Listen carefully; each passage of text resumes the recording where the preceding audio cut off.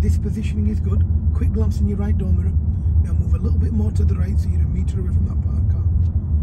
Now look in your left door mirror and come back into the lane on the left when it's safe. That's fine.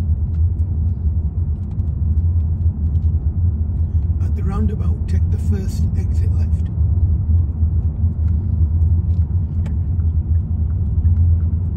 Try and avoid stopping. So lots and lots of uh, checks. If you do have to stop, that's fine.